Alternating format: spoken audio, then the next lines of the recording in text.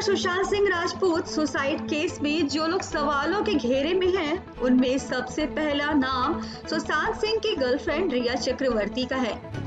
रिया पर सुशांत की फैमिली और फैंस ने इल्ज़ाम लगाए हैं कि उन्होंने सुशांत को अपने बस में कर रखा था।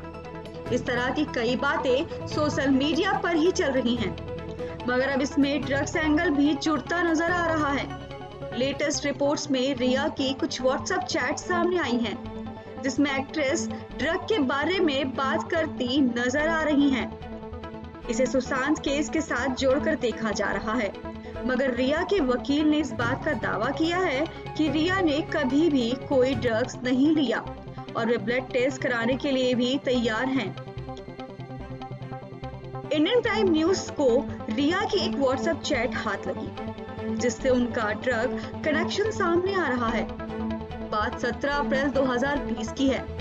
मिरंडा सुशी अपने मैसेज में रिया से कह रही हैं कि, हाय रिया स्टफ़ लगभग खत्म हो गया है।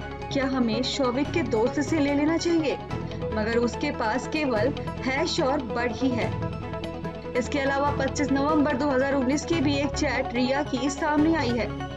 जिसमें जया शाह को वो कह रही हैं कि कॉफ़ी, चाय या पानी में चार ड्रॉप डाल लो और उसे सिप करने को कहो। 30-40 मिनट का समय लगेगा किक करने में। रिया की ये चैट सामने आने के बाद से कहीं ना कहीं इसका कनेक्शन सुशांत के साथ जोड़ा जा रहा है।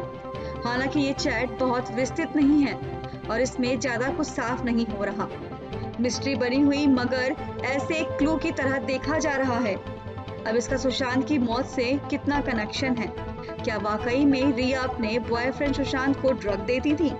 इसका खुलासा तो आने वाले वक्त में होगा।